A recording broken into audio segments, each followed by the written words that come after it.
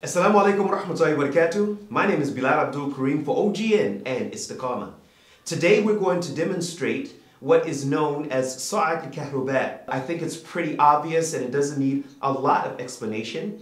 Uh, it's very clear that water is put on the detainee and then he is electrocuted so that he will tell whatever information they think he has or just for punishment. Well, as you can see, it's very cold here. It's about 32 degrees or zero degrees Fahrenheit.